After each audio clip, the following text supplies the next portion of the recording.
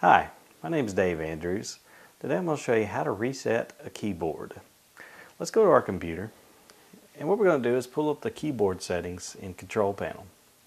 Let's click on the Start button and in this Start Search um, area in Vista we're going to pull up our Control Panel. So I'm just going to type Control and then Control Panel is one of the options that appears.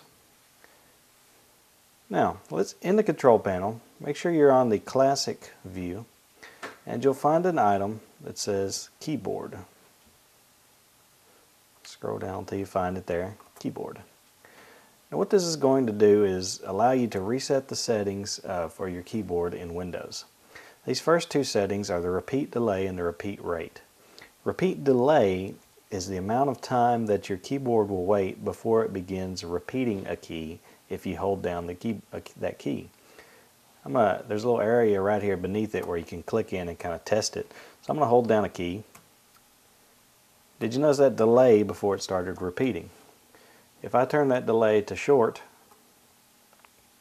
come in here and start typing again, that delay was a lot less before it began repeating.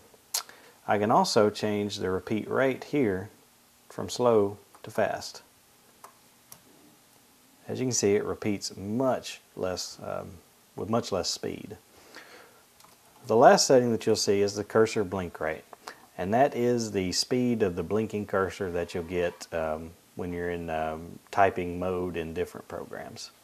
To apply your settings, just scroll down and click on Apply and then click on OK. My name is Dave Andrews and I've just showed you how to reset a keyboard.